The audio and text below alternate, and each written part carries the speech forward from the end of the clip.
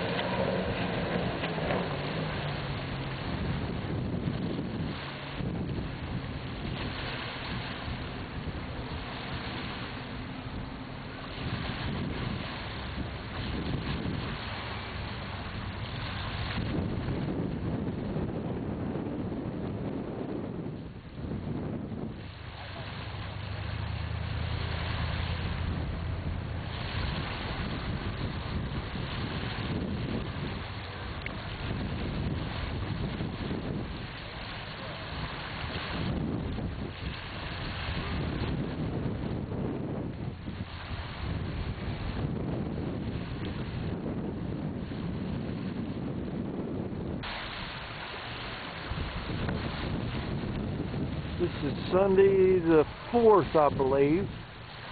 That's Art Shirley at Rend Lake. He's out there with 8-3.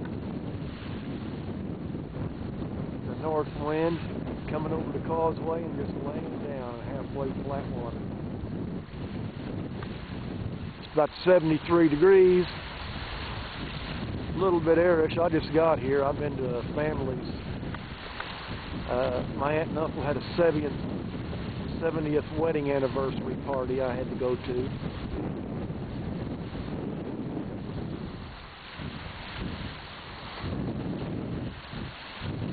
But I'm going to rig up here in a little bit and get out there.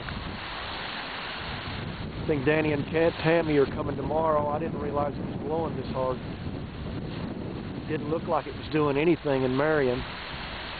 Carbondale said 10.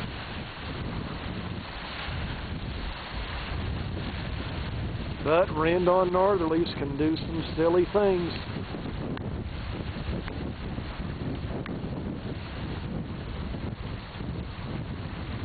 It's one of the favorite winds to sail, coming over the causeway, flatter water.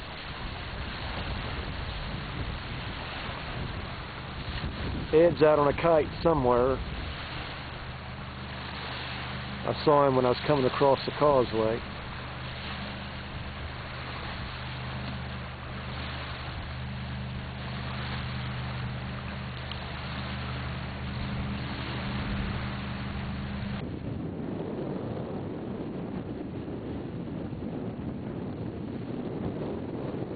Charlie Vinosky riding his new 8.5 Ezzy sail.